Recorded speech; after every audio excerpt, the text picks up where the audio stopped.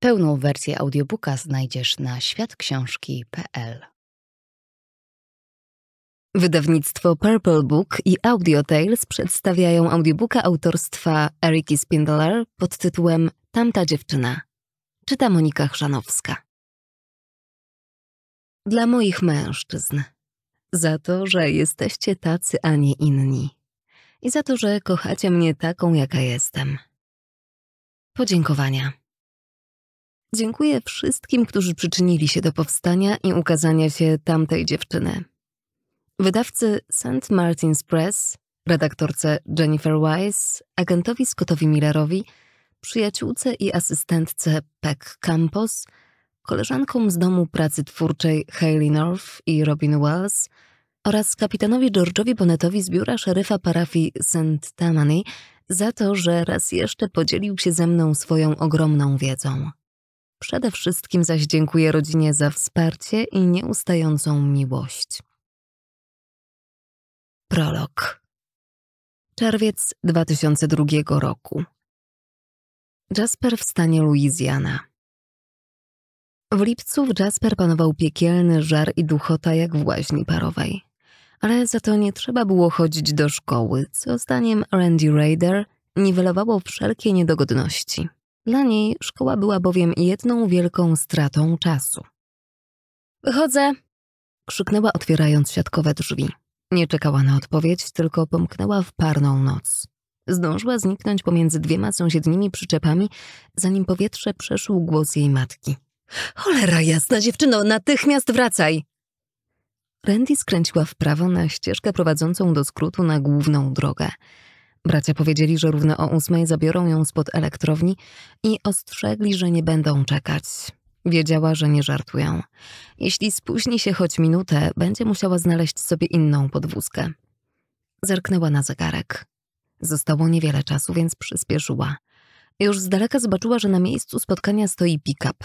Nie był to jednak wóz należący do braci. Jasnoczerwony Ford F-150, jedyny taki w Jasper. Jego właścicielem był Billy Bowman, kumpel braci. Podeszła do kabiny od strony kierowcy. Billy wystawił głowę przez okno. Czułko mała. Cześć, Billy Bow. Randy posłała mu zalotny uśmiech. Co tu robisz? Czekam na ciebie. Na mnie? Bracia kazali mi cię zabrać. I wszystko jasne. Mimo to zapytała, dlaczego sami nie przyjechali? Znasz Wesa i Robiego. Zawsze coś im wypadnie. To co, skakujesz? Billy Bow był irytujący, ale nie groźny. Zastanawiała się, co ją w nim odrzuca i doszła do wniosku, że chyba pocenie się. Nieustanne i obfite o każdej porze roku. Było jej go trochę szkoda, bo przecież nie mógł nic na to poradzić. Raz usłyszała rozmowę dwojga nauczycieli na jego temat. Powiedzieli, że Billy ma problem z gruczołami. Randy miała wielkie brązowe oczy i doskonale wiedziała, jak nimi wodzić, żeby chłopak zwrócił na nią uwagę. Trenowała na Billim Bow. No nie wiem, a powinnam? Oj, nie marudź. Mam lodówkę pełną browaru. Chcesz się zabawić? Czemu nie? Kiedy usadowiła się na fotelu pasażera, wręczył jej butelkę z piwem. Otwieracz w schowku. Rzucił i wyjechał na drogę. Spod kół sypnął żwir. Randy zajrzała do schowka i zobaczyła, że w środku oprócz otwieracza jest coś jeszcze.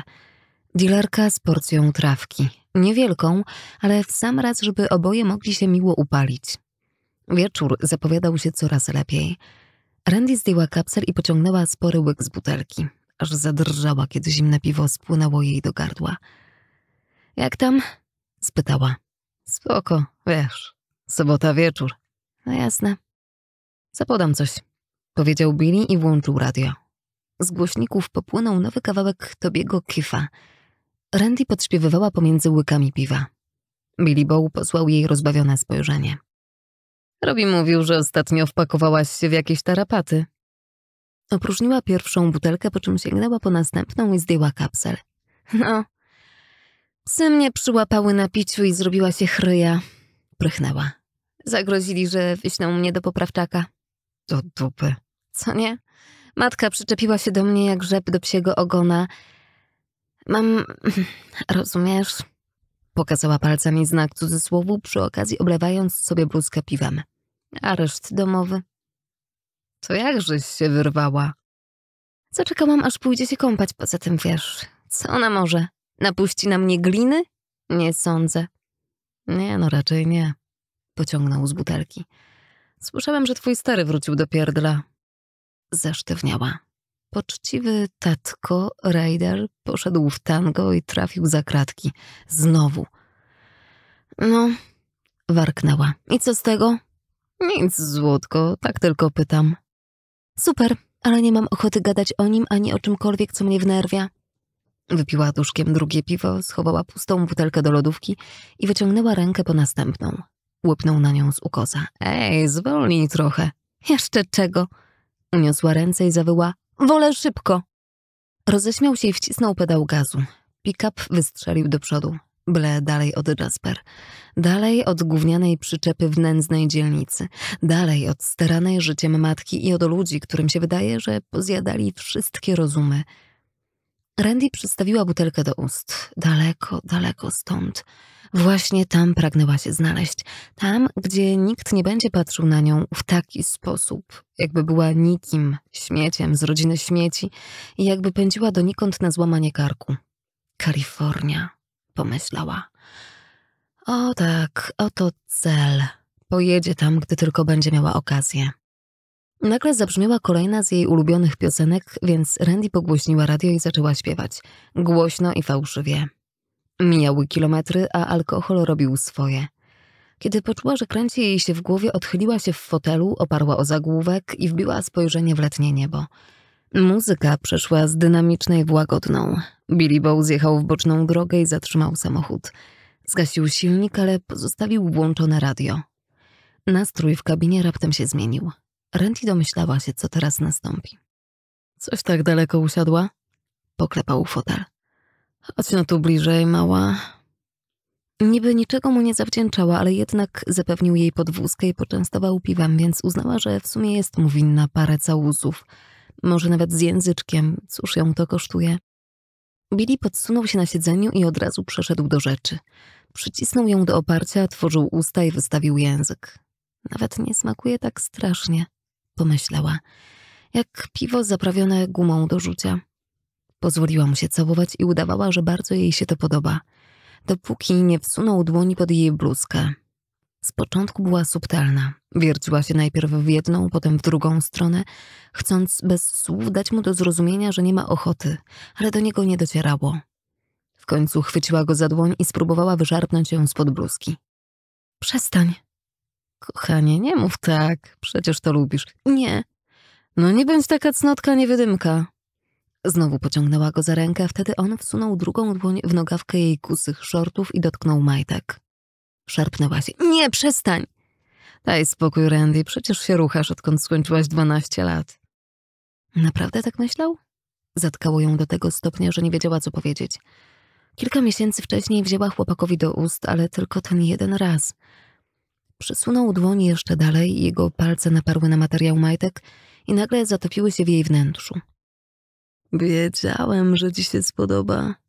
Mruknął jej do ucha, przygniatając ją do fotela. Czuła na szyi jego gorący oddech. Jesteś na mnie gotowa, co nie? Miała wrażenie, jakby usiłował połknąć jej twarz. Suwał język do jej ust i wielkimi jak szczypce homara łapami obmacywał jej piersi i srom. Jego ciężar był obezwładniający. Randy poczuła, że narasta w niej panika. Nie mogła oddychać, nie była w stanie walczyć. Łzy napłynęły jej do oczu. To nie w porządku. Przecież nie chciała, żeby, żeby tak wyglądał jej pierwszy raz z Billim Bowmanem, który ją zmusił. Zacznie rozpowiadać, że to zrobili i że jej się podobało, że błagała o więcej. O nie, nic z tego, za cholerę, przestań. Wydusiła. Niedobrze mi, zaraz się pożygam. Zszedł z niej w mgnieniu oka. Zerknęła na otwarty schowek i naraz przyszedł jej do głowy pomysł. Nie patrz! krzyknęła, zasłaniając usta dłonią. Odwrócił głowę i warknął. A nim się wasz puszczać pawia w aucie. Randy chwyciła torebkę z zielem i wyskoczyła z kabiny. Trzasnęła za sobą drzwiami, pobiegła na pobocze, ale zamiast zwymiotować, odwróciła się do Bilego. Nie, znaczy nie, ty tłusty, spocony palancie. Na jego twarzy najpierw pojawiło się zdumienie, a potem wściekłość. Co jest? Udawałaś? Że robi mi się niedobrze na twój widok? Nie. Że będę żygała? No to akurat tak. Zrobił się czerwony. Taka z ciebie cwaniara? A jak teraz wrócisz do domu, ty cnotko niewydymko? Nie przyszło ci to do łba? Pokazała mu środkowy palec. Się, Borman. Zobaczysz, że moi bracia skopią ci za to dupę. Parsknął śmiechem i uruchomił silnik. Tempa cifa. Myślisz, że dlaczego chcieli, żebym po ciebie przyjechał? Kłamca! Krzyknęła za nim, kiedy odjeżdżał. Pochyliła się, wzięła garść żwiru i cisnęła za samochodem. syn! Dopiero kiedy straciła z oczu tylne światła jego auta, uświadomiła sobie, że miał rację. Jak teraz wrócić do domu? Bez telefonu, bez latarki, w dodatku nie wiedziała nawet, gdzie jest. Nieważne, uznała i ruszyła przed siebie. Zabrała mu trawkę, ale się wkurwi, kiedy się zorientuje. Uśmiechnęła się i poklepała po kieszeni. Wszystko jest lepsze niż ten obleśny typ i jego łapy.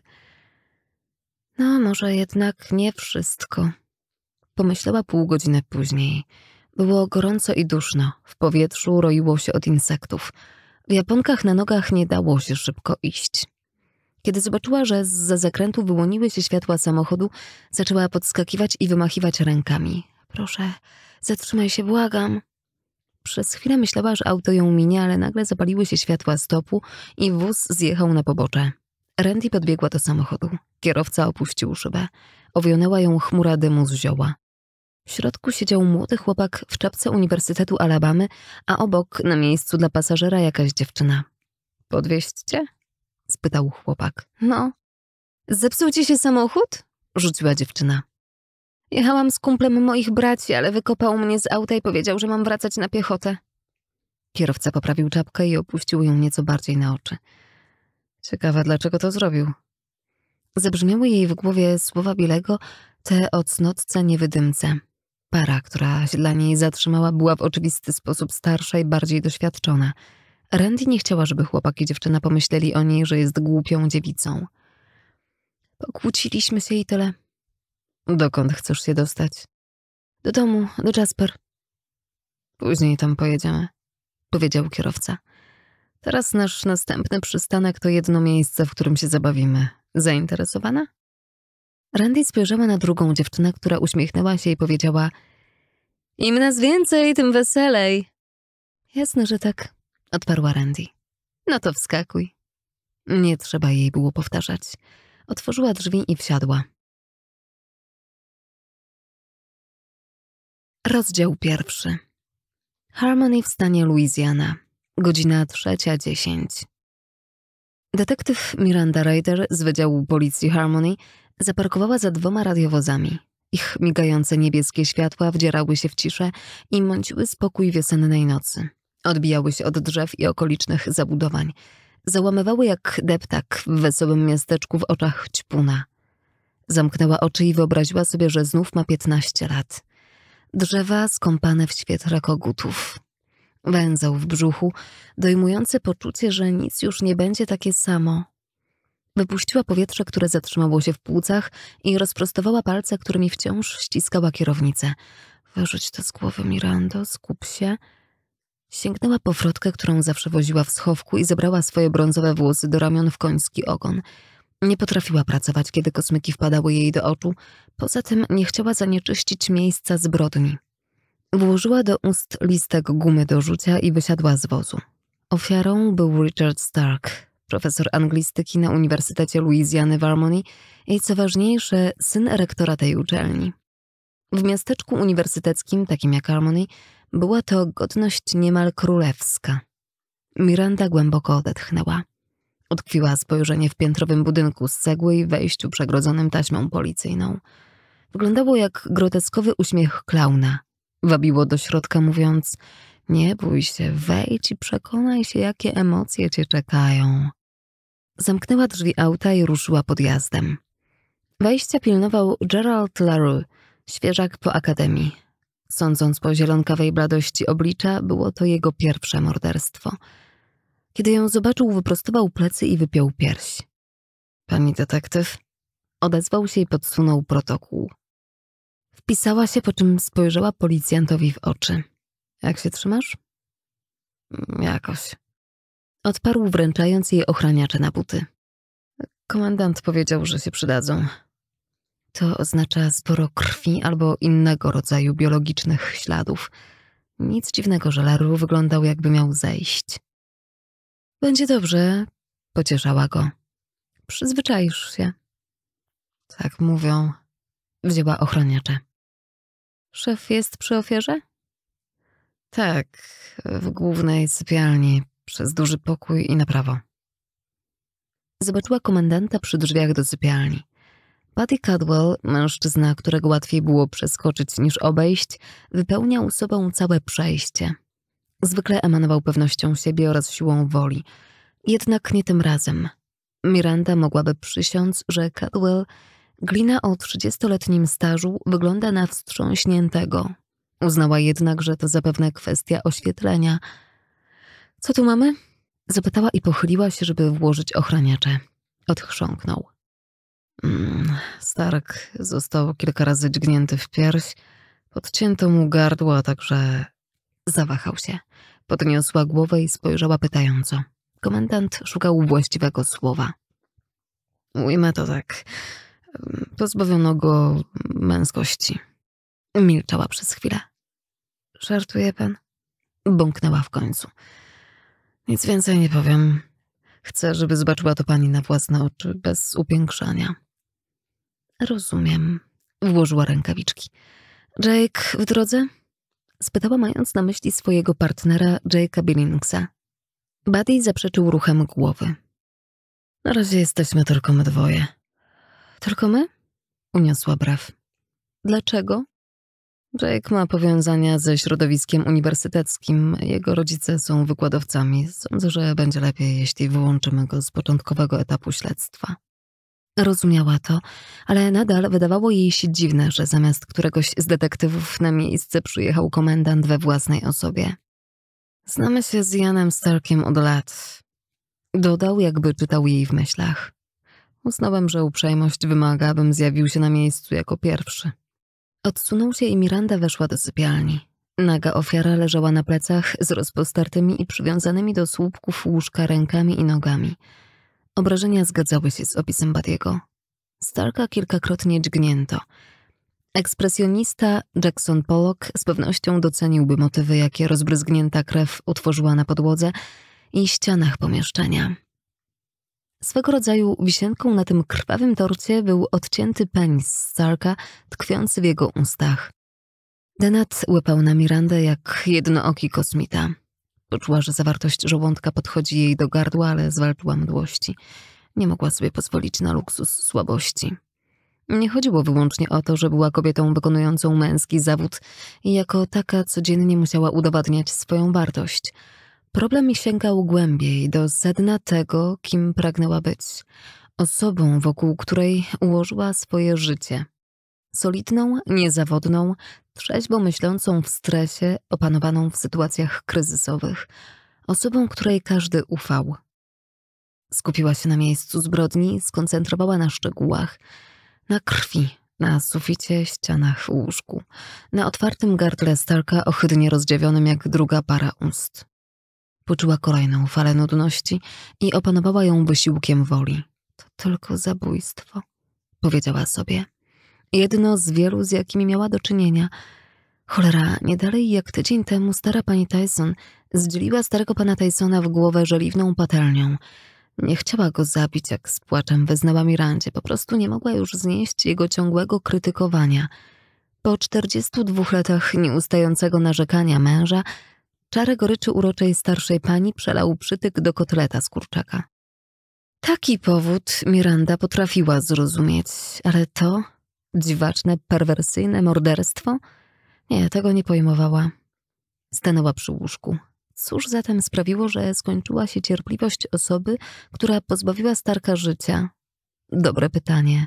Mogła się na nim skupić. Jej wzrok spoczywał na krawatach, które posłużyły do skrępowania nadgarstków i stóp ofiary. Staje się jedwabne. Na pierwszy rzut oka drogie. Sądząc po jaskrawych kolorach i odważnych wzorach, Stark nie był typowym drętwym wykładowcą. Był jak Paw, pomyślała. Przyjrzała się jednemu z krawatów. Węzeł żeglarski. Pochyliła się. Porządny, solidnie zawiązany, sprawca doskonale wiedział, co robi. Stark próbował się uwolnić. Otarta skóra na nadgarstkach, na kostkach też, co sprawdziła chwilę później, ślady wskazujące na to, że Stark szarpał za materiał. Wyprostowała się. Sprawcą prawdopodobnie jest kobieta, choć dopóki nie poznają orientacji seksualnej Starka, muszą zakładać, że równie dobrze mógł to zrobić mężczyzna. Zbrodnia z namiętności, popełniona w afekcie. Miranda ściągnęła brwi. Czegoś tu brakuje.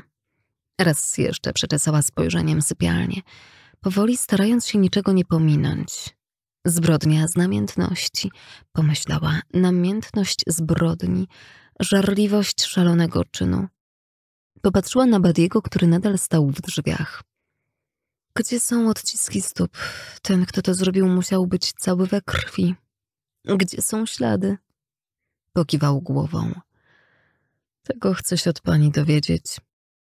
Sprawczyni działała w gniewie, bez wątpienia z pobudek osobistych, ale zapał, z jakim zabito, nie oznacza automatycznie zbrodni w afekcie. Słucham dalej. Sprawczyni żegluje, to, pokazała palcem, jest węzeł ratowniczy, w dodatku świetnie zawiązany. Powiedziała. Komendant podszedł bliżej.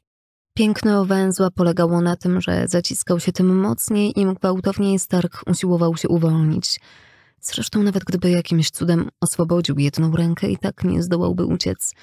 Nie da się rozwiązać tego maleństwa, jeśli lina, w tym przypadku krawat, jest naprężona.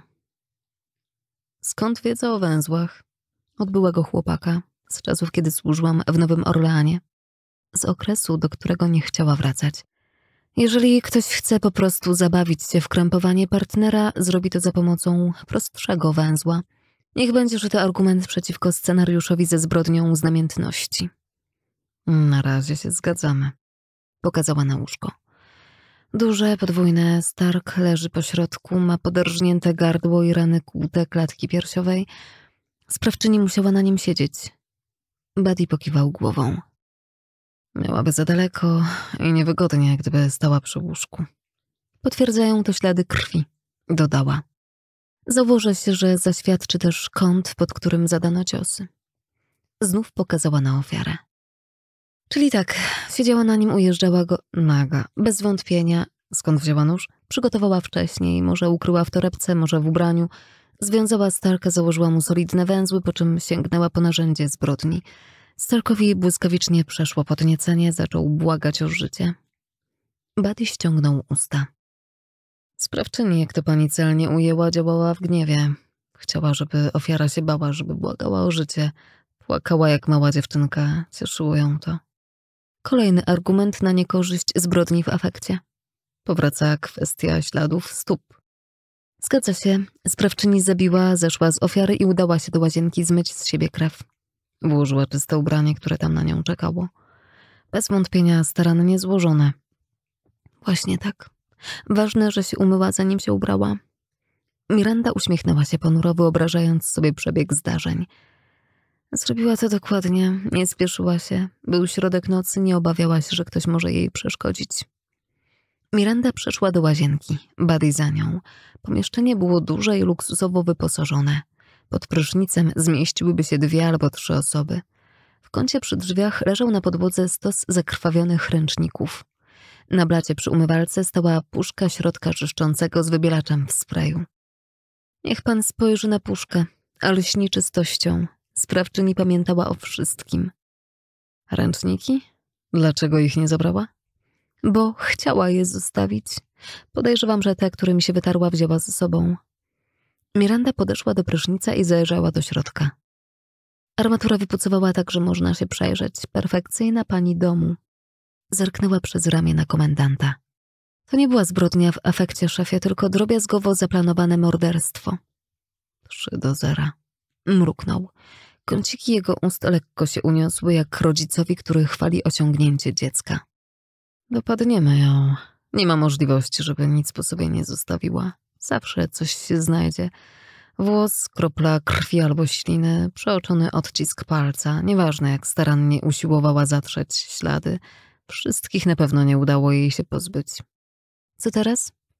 Teraz wyznaczam panią do poprowadzenia tego śledztwa. Billings będzie pani pomagał. Zgadza się pani? A dlaczego miałabym się nie zgodzić? Proszę go więc wezwać. Poza tym, choć niechętnie to przyznaję, nie poradzimy sobie sami z rozmiarami tego miejsca i będziemy potrzebowali pomocy techników z komendy parafialnej.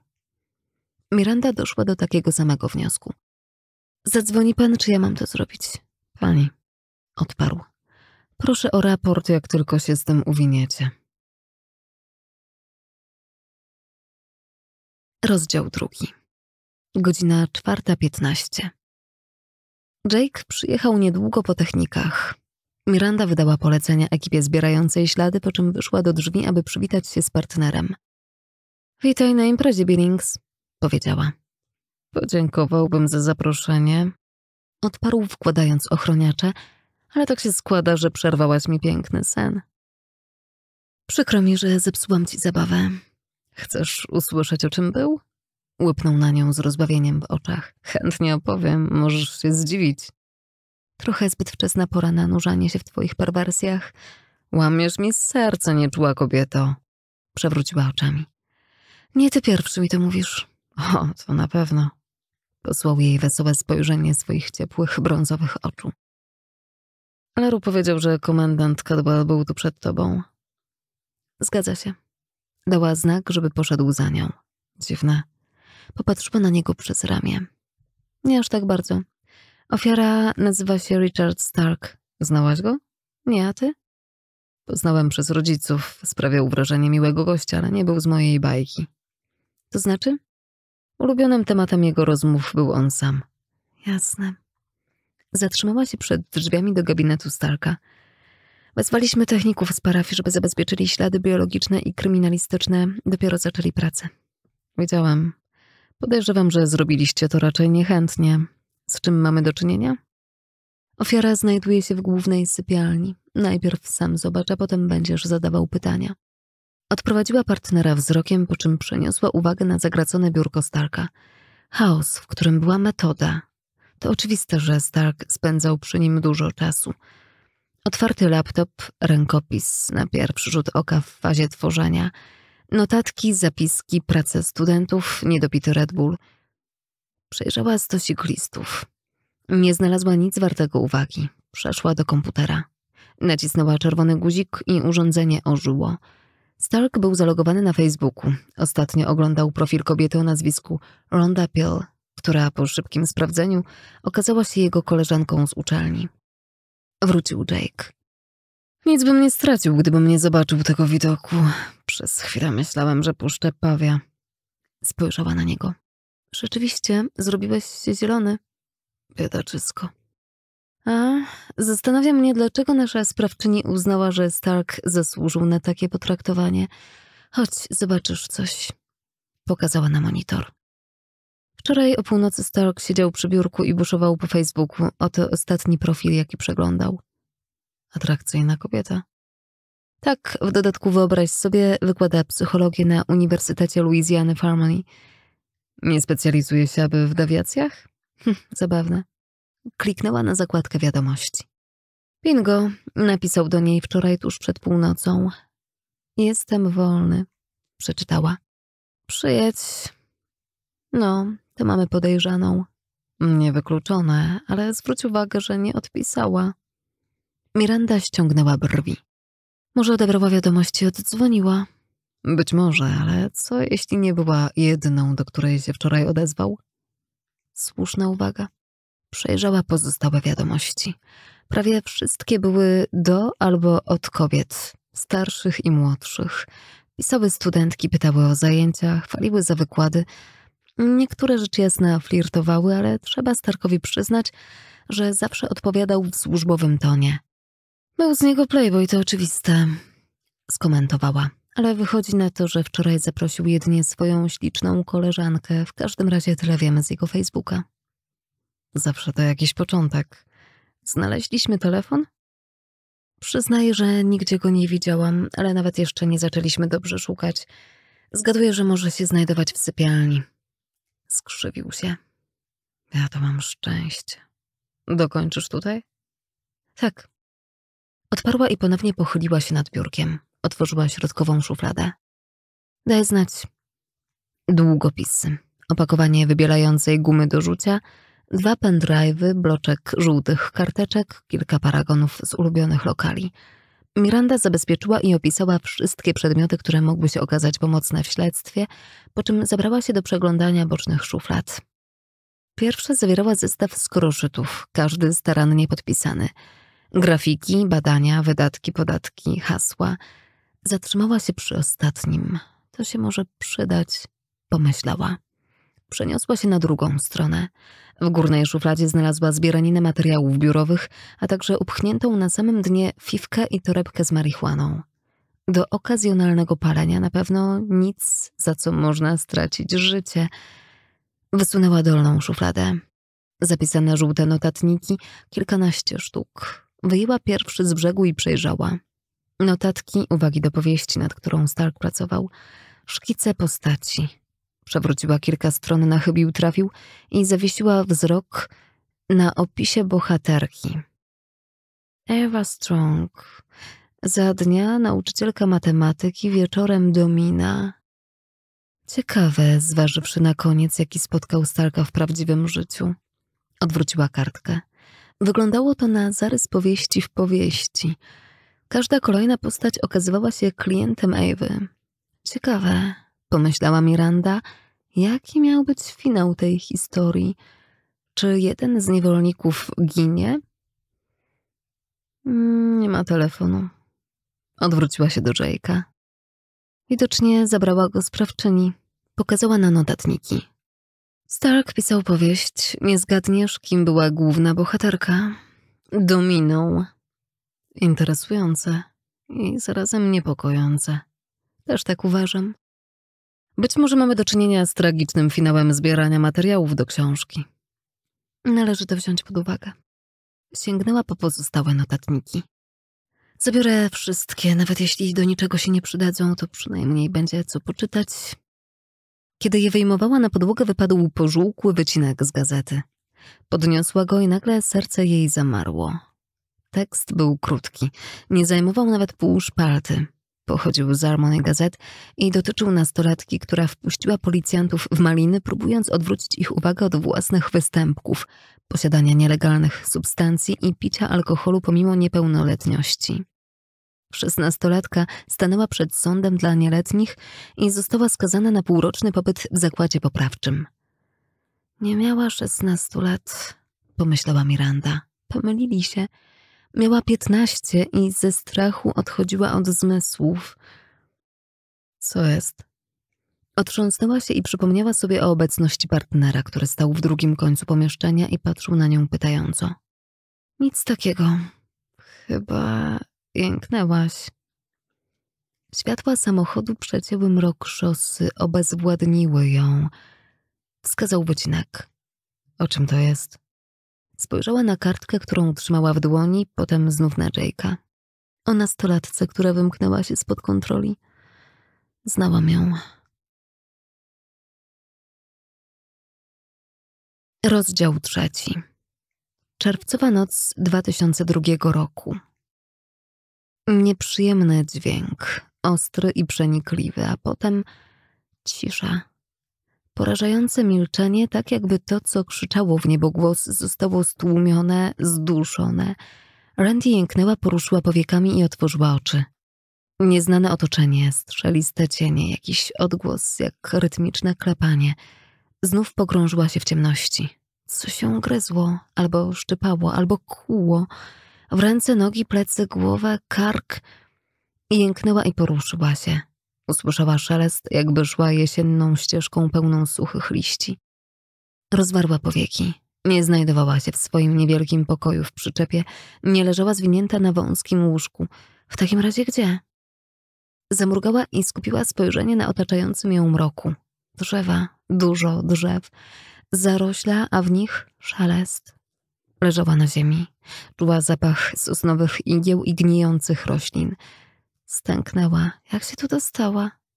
Jechała Fordem Billy'ego Bow. Nie, szła drogą, złapała stopa.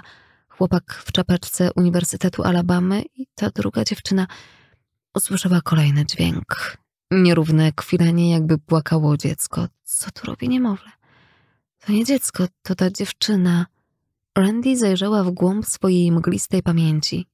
Carly? Nie. Cassie albo... Coś spadło z gałęzi, wylądowało na ramieniu Randy i czmychnęło. Krzyknęła i spróbowała się zamachnąć, ale nie była w stanie. Miała związane ręce, nogi tak samo. Uczucie niedowierzania szybko przerodziło się w panikę. Szarpnęła, ale choć napierała z całej siły i wiła się, więzy nie chciały puścić. Biegły ją nadgarstki i kostki w głowie, czuła pulsujący ból. Opadła na plecy, a z kącików jej oczu popłynęły łzy. Tymczasem łkanie ustało. Randy wyciągnęła głowę w stronę, z której dolatywał dźwięk. Jesteś tam? Tak. A on? Gdzie on jest? Głos drżał jej tak bardzo, że z trudem przeciskała słowa przez gardło. Pojechał. Po jedzenie. Wypuść mnie, poprosiła Randy. Błagam, rozwiąż mnie. Zapadło długie milczenie, które zdawało się trwać w nieskończoność. Kiedy druga dziewczyna wreszcie się odezwała, zrobiła to tak cicho, że Randy musiała wytężyć słuch, żeby ją zrozumieć. Myślisz, że ja też jestem związana?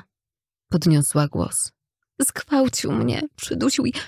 Wybuchła głośnym płaczem, zawodziła tonem pełnym udręki i rozpaczy.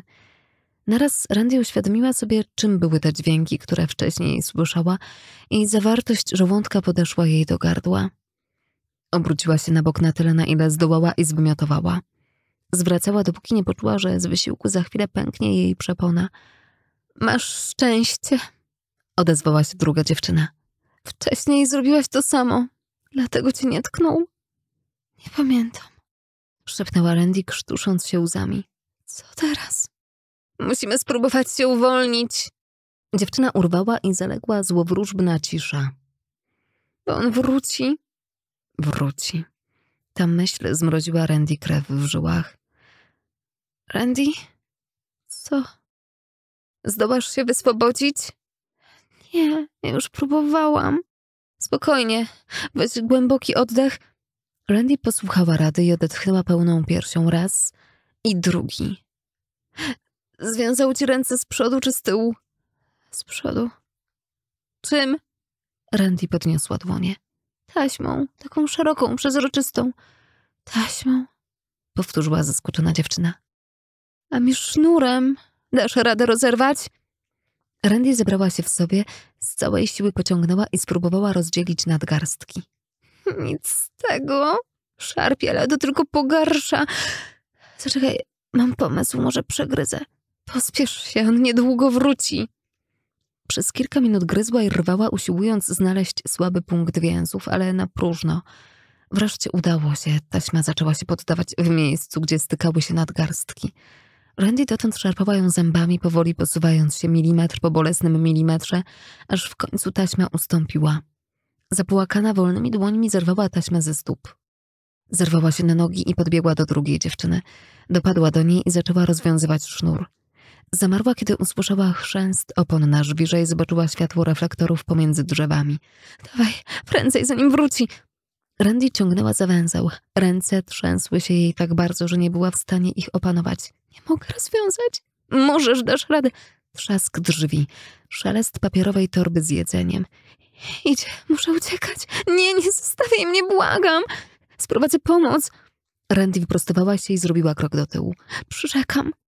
Gwizdał pod nosem jakąś radosną melodię, był coraz bliżej. Cofnęła się o kolejny krok. Muszę sprowadzić pomoc, to jedyne wyjście. Przepraszam. Nie możesz mnie zostawić! Dziewczyna podniosła głos. Nie, nie! Randy zaczęła się wycofywać. Łzy płynęły jej po twarzy. Przyrzekam, że sprowadzę pomoc. Raz jeszcze spojrzała na drugą dziewczynę, po czym odwróciła się i ruszyła biegiem. Rozdział czwarty. Godzina siódma dziesięć. Po oględzinach miejsca zbrodni Miranda i Jake przysiedli na maskach swoich aut zaparkowanych jedno obok drugiego przed knajpką u Irmy. Kawa, wypieki i coś ponadto. Coś ponadto obejmowało kanapki, za które można było dać się pokroić. W ostatecznym rozrachunku pewnie chirurgowi, zważywszy na niezbyt zdrowy skład kanapki. Jajka, boczek i ser, a wszystko na maślanej bułeczce. Chcesz o tym pogadać? spytał Jake i wgryzł się w swoją porcję. O czym? O tym, o czym nie mówisz od dwóch godzin, od kiedy zadałem ci pytanie o wycinek z gazety. Spojrzała na niego. Patrzcie, jaki nagle się zrobił spostrzegawczy. Jake się roześmiał i zajął kanapką. Miranda poszła w jego ślady i wykorzystała ten czas na zebranie myśli. Postanowiła odpowiedzieć wprost, bez kluczenia. Ten artykuł był o mnie, to ja byłam tą nastolatką. Prychnął. Tego się nie spodziewałam. To tyle, jeśli chodzi o moją spostrzegawczość. Zatrzymano mnie za posiadanie nielegalnych substancji i posłano na pół roku do poprawczaka. Posiadanie czego? Trawki? Surowy wyrok. To nie była moja pierwsza przygoda z łamaniem prawa. Zdarzało mi się kraść w sklepie, pić, wagarować, a jeszcze niszczenie mienia publicznego. Niech zgadnę. Graffiti? Mhm. Dziwne, że nie dostałaś do żywocia. Wydawał się rozbawiony. Nie rozumiał. Nie mógł rozumieć.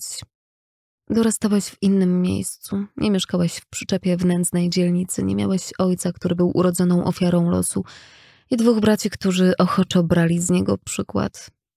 Spojrzałam w oczy. Oczywiście, że wyciągnięto w stosunku do mnie surowe konsekwencje. Z takimi jak ja prawo się nie patyczkuje. Pokręcił głową.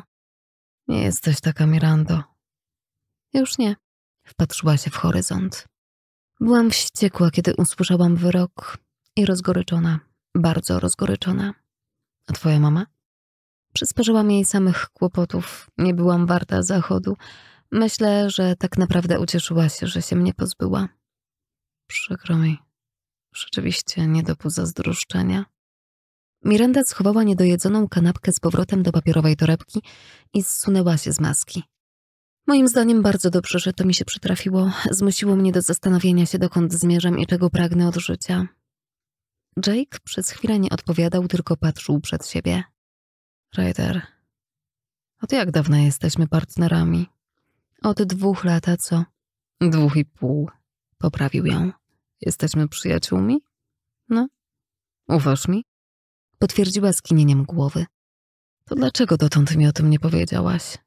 Podeszła do kosza i wyrzuciła zawiniątko. To skomplikowane. Wcale nie. Jesteśmy przyjaciółmi i ufasz mi, albo nie jesteśmy i nie ufasz. Jake, nie chodzi ani o ciebie, ani o nasze partnerstwo. Chodzi o mnie. Ta dziewczyna, o której ci opowiedziałam, już nie istnieje. Rozstałam się z nią. Rozstałaś się. Powtórzył. Jak to zrobiłaś? Po prostu. Nie da się uciec od przeszłości. Ona zawsze cię dopadnie. Uniosła brew. Nie filozofuj, Billings. Nie uciekłam od przeszłości, tylko zostawiłam ją tam, gdzie jej miejsce. Okej. Okay. Zszedł z maski samochodu i wrzucił śmieci do pojemnika. Mam pytanie. Dawaj. Dlaczego Stark zachował ten wycinek? No właśnie. Nie dawało jej to spokoju. Sama chciałabym wiedzieć. Może chodzi o zwykły zbieg okoliczności, ale jakoś nie chce mi się wierzyć. Rozdział piąty. Godzina ósma. Komendant Cadwell wyglądał na zaniepokojonego. Nie powitał ich uśmiechem, nie rzucił dowcipnej uwagi na dzień dobry, jak to miał w zwyczaju. Odpuścił sobie małomiasteczkowe uprzejmości. Tego ranka życie w Almony wyglądało zupełnie inaczej niż zwykle. Złożył dłonie na biurku i zapytał: Macie coś nowego? Mamy nawet wstępną podejrzaną, oznajmiła Miranda. Około północy Stark odezwał się do pewnej kobiety na Facebooku i zaprosił ją do siebie. Koleżanka z uczelni też wykładała. Wtrącił Jake. Nazywa się... Zerknął do notatnika. Rhonda Pill. Brawo! Pochwalił Buddy i dla lepszego efektu uderzył pięścią w stół. To chciałem usłyszeć. Przesłuchamy ją, jak tylko powiadomimy rodzinę Starka. Już to zrobiłem. Miranda nie zdołała ukryć zaskoczenia. Bez nas? Uznałem, że w przypadku kogoś tak znaczącego dla naszej społeczności jak Jan Stark, powinienem załatwić to osobiście. Potrafiła to zrozumieć. Starka i Cadwella nie łączyła wprawdzie bliska przyjaźń, ale obaj, jako najbardziej wpływowi mieszkańcy Harmony, czuli się odpowiedzialni za miasto i w pewnym sensie za siebie nawzajem. Starkowie byli zdruzgotani, przyznał lekko łamiącym się głosem komendant. To była jedna z najtrudniejszych rozmów, jakie kiedykolwiek odbyłem. I tak będziemy musieli jeszcze raz z nimi porozmawiać.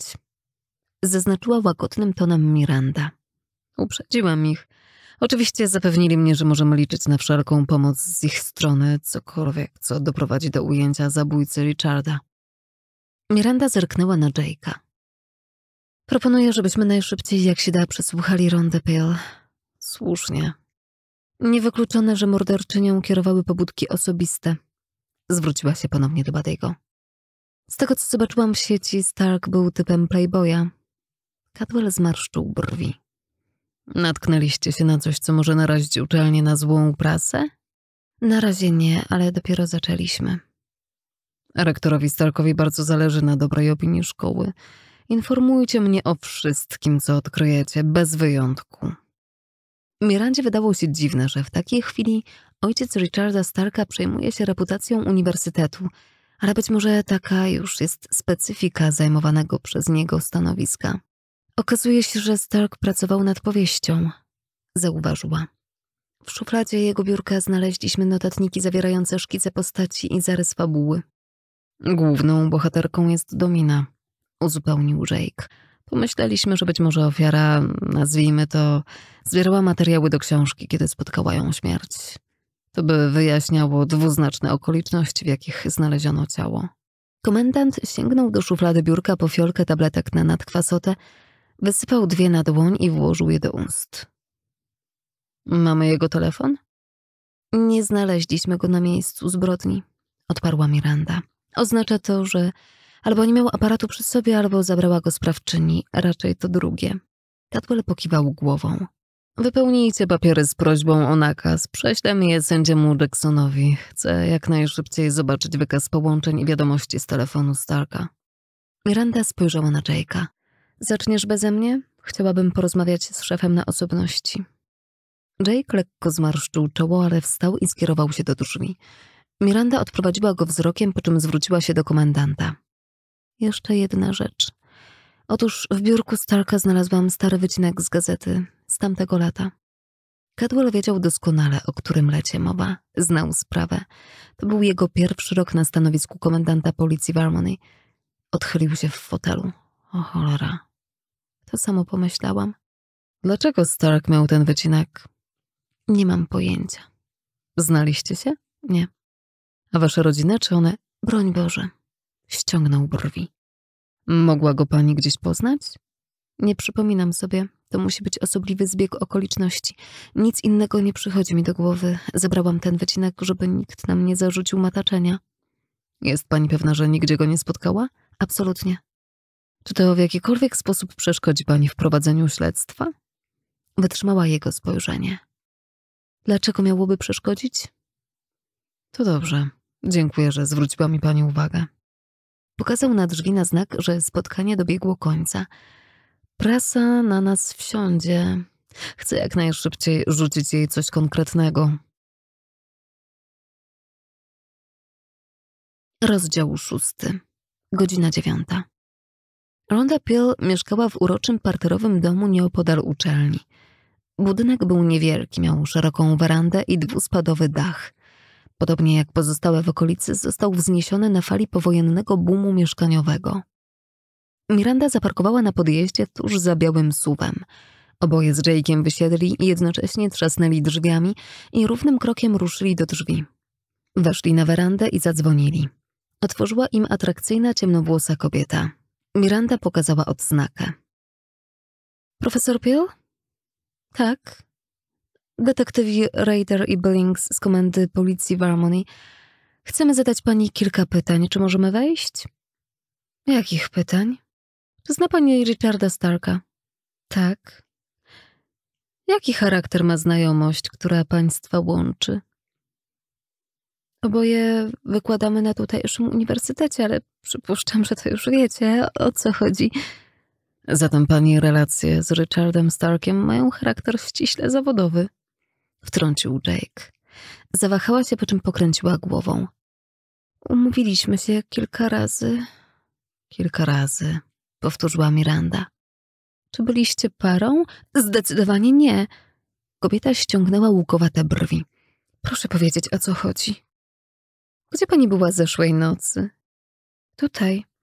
Sprawdzałam pracę. Urwała, zmarszczyła czoło i spojrzała najpierw na Mirandę, potem na Jake'a. Czy coś się stało Richardowi? Nie żyje.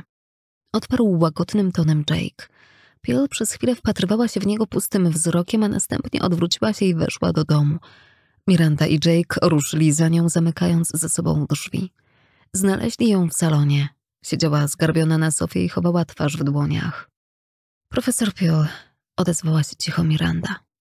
Podać pani coś? Chce się pani napić, a może zadzwonić do kogoś? Piel pokręciła głową. Kiedy w końcu opuściła dłonie i podniosła wzrok, oczy miała mokre od łez. Ciekawe, pomyślała Miranda. Czy szczerze opłakuje Starka, czy tylko udaje i ukrywa twarz w dłoniach po to, aby zyskać czas na wywołanie łez? Jego rodzice wiedzą? Zapytała. Dziwne pytanie, pomyślała Miranda. Tak, jak... Co się stało? Został zamordowany. Zbladła. Ale to przecież niemożliwe. Dlaczego nie, pani profesor? Bo wszyscy go uwielbiali. Tak? Studenci, wykładowcy, zwłaszcza kobiety, nieprawdaż? Wtrącił Jake. Posłała mu wymowne spojrzenie. Wszyscy go lubili, kobiety również. Czy miał wrogów? Nie, potrząsnęła głową. Nie. Czy niedawno zakończył jakiś związek? Nic mi o tym nie wiadomo. Czy kiedykolwiek wspomniał o znajomości, która dobiegła końca w nieprzyjemnych okolicznościach? Byłej dziewczynie, która popadła w obłęd? Nie, nigdy. Urwała i zmarszczyła brwi. Sądzicie, że zabiła go kobieta? Wiemy to na pewno. Odparł Jake. Proszę powtórzyć, gdzie pani była zeszłej nocy. Odezwała się Miranda. Tutaj sprawdzałam pracę. Znów przerwała. Jej spojrzenie stało się szkliste. Gdybym może... Gdyby co? Ponaglił Jake. Odwróciła głowę. Gdybym się z nim spotkała, wtedy może... Sami państwo wiecie, może nadal by żył. Miranda nie czuła się przekonana. Wiemy, że zaprosił panią do siebie. Dlaczego pani nie skorzystała? Skąd... Ach, oczywiście. Facebook. Dlatego do mnie przyszliście. Zasłoniła usta drżącą dłonią. Nie zamierzałam biegać do niego jak jakaś zadłużona nastolatka, po prostu nie odpowiedziałam. Ale przeczytała pani wiadomość? Tak, odchrząknęła. Rozesłałam oceny pracy pierwszej, może trochę później. Czy zawsze kontaktowaliście się przez Facebook? Przeważnie dzwonił albo przysyłał SMSy. A pani zwykle chodziła do niego? Spuściła wzrok. Tak, Dlaczego nie zrobiła pani tego zeszłej nocy? Pokręciła głową, nie podnosząc jej. Powiedziała pani, że nie chciała wyjść na zadłużoną nastolatkę. Co to znaczy? Czy to nie oczywiste? Wolę, żeby pani nam to wyjaśniła. Mam swoją dumę i nie jestem zdesperowana. Jest pani piękną kobietą, zauważył Jake. Mądrą i wykształconą, to jasne. Dlaczego Richard Stark mógł pomyśleć, że jest pani zdesperowana, gdyby przyjęła pani jego propozycję? Spojrzała na nich. Ponieważ wiem, że nie byłam jedyną, której proponował takie rzeczy. Miranda z trudem ukryła poruszenie. Rhonda Peel miała możliwość dokonania zabójstwa, a teraz dodatkowo wyjawiała motyw. Zdradzał panią? Peel parsknęła gorzkim śmiechem. Czy można mówić o zdradzie, skoro nawet nie było związku? Tak twierdził? Tak. Objęła się w pasie. A potem pisze, że jest wolny. Łajdak. Kochała go pani. Tego nie powiedziałam. Nie musiała pani, przystojny, uroczy, mądry, trudno się nie zakochać. Wydawał się idealny. Powiedziała cichym głosem pełnym bezradności. Aż do tego wieczoru, kiedy uświadomiłam sobie, wyprostowała plecy. Miranda postanowiła nacisnąć. Co takiego pani sobie uświadomiła? Pill zawahała się, po czym odparła, że po prostu nie był taki. Kiedy ostatni raz widziała pani Richarda? spytał Jake. W niedzielę wieczorem wstąpiłam do niego, zaskoczyłam go. Miranda łypnęła na Jake'a i zorientowała się, że oboje myślą o tym samym. Był z inną, prawda? Kobieta poczerwieniała. Tak, poczułam się upokorzona. Kto z nim był? Nie wiem, nie widziałam jej. Odchrząknęła i dodała pewniejszym tonem. Nawet nie weszłam do środka. Przykro mi z powodu tego, co panią spotkało, powiedział Jake. Nie zasłużyła pani na to. Łzy napłynęły jej do oczu. To prawda. Wtedy zrobił pani wykład o związkach i zdradach? Upewniła się Miranda. Tak. Czy na podjeździe albo na ulicy przed domem stał pojazd, którego pani nie rozpoznawała? Bill zastanowiła się chwilę, po czym pokręciła głową. Zaparkowałam na podjeździe. Nie widziałam innych samochodów. Wstała. Czy możemy już skończyć? Źle się czuję. Oczywiście. Oboje detektywi też wstali. Ostatnie pytanie, zaznaczyła Miranda. Wiedziała pani, że Richard Stark pisał książkę? Oczywiście, często o niej opowiadał. Wie pani, o czym miała być? Zacisnęła usta. O dominie i życiu jej klientów. Czy pociągają panią tego rodzaju praktyki? Słucham? Niby, co to ma wspólnego? Urwała i otworzyła szeroko oczy. Chyba nie chcecie powiedzieć, tylko pytam. Nie, ucięła sztywno. Nie interesują mnie. A jego pociągały? Powieść to fikcja, pani detektyw. Fantazja, zmyślona historia. Wiem o tym, odparła Miranda. Ale nie odpowiedziała pani na pytanie. Nie. O ile mi wiadomo, nic takiego go nie pociągało. W każdym razie nic na to nie wskazywało, kiedy był ze mną. Odprowadziła policjantów do drzwi. Jake wyjął wizytówkę i wręczył ją profesor Piel. Proszę zadzwonić do mnie albo do Detective Reader, jeśli coś sobie pani przypomni. I już zamykała za nimi drzwi, kiedy Miranda nagle się odwróciła i powstrzymała ją. Jeszcze jedna rzecz, pani profesor. Chciała pani wiedzieć, czy powiadomiliśmy rodziców Richarda? To było pierwsze pytanie, jakie nam pani zadała. Dlaczego? Popatrzyła na Mirandę obojętnym wzrokiem, potem przeniosła spojrzenie na Jake'a. Tak? Zrobiła to pani, potwierdził. Nie wiem, przyznała. Musiała pani mieć powód, dociekała Miranda. Sama pani przyzna, że to trochę dziwne, kiedy kobieta dowiaduje się o śmierci swojego chłopaka i pierwsze o co pyta to, czy jego rodzice już wiedzą. Pill nerwowym gestem przygładziła włosy. Byli ze sobą bardzo blisko, Rich i rodzice. Bliżej niż z reguły bywają rodzice i ich dorosłe dzieci? Nie wiem. Lekko podniosła głos. Czy to ważne? Przecież to oczywiste, że go nie zabili. Naturalnie. Odparła łagodnym tonem Miranda. Dziękujemy, że zechciała pani nam poświęcić czas. Pełną wersję audiobooka znajdziesz na światksiążki.pl.